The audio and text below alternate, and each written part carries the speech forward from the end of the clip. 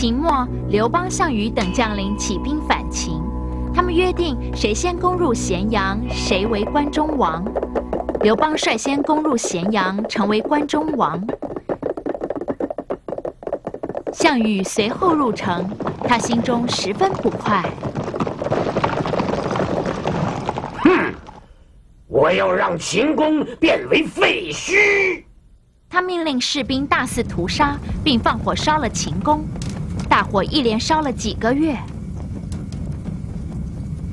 他们掠夺了大批的金银财宝和年轻妇女。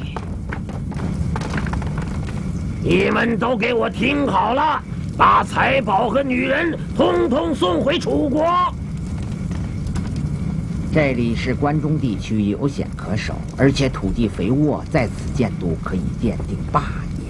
人富贵了，应归故乡；富贵不归故乡，好比衣袖夜行，谁看得见啊？哼！嗯，怪不得人家说楚人不过是木猴而冠罢了，果然不错。士兵，给我把他烧死！气死我了！